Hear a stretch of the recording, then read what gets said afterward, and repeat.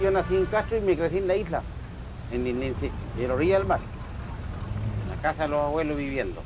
Ahí me crecí. Era sufrir la vida, ¿no? Porque se trabajaba la siembra y mariscar para poderse mantener. Ya tenía ocho años, ya andamos en la playa mariscando. Y así teníamos que hacernos la plata. Ya en la escuela patapelá, con el bolsito atrás en la espalda. Hacía lancha chica y lo andaba trayendo a la glorita de la costa, cuando era niño. Ella tenía ya 12 años cuando ya empecé a navegar, con los, veleros, con los botes veleros.